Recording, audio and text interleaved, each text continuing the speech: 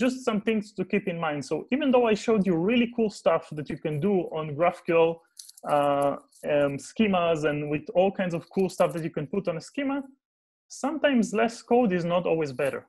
Sometimes you need to think actually which rules belongs where. And in your organization, who knows best um, about who has access to what.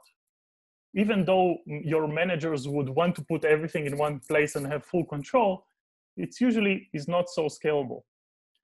Um, and the reason everyone is pushing for those cool things that I told you about is that a lot of the products and the companies that try to sell you things and enter into your um, server farm or into your applications, they want you to put that logic in their products because that's how they make money. And then that's so think hard before um, you know you put everything into a global authentic authorization solution.